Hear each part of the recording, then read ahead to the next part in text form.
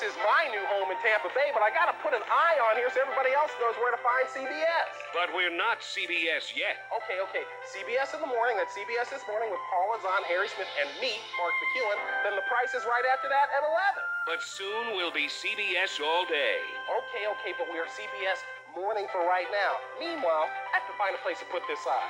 Watch this. CBS this morning at 7 and Price is Right at 11. Keep your eye on 10.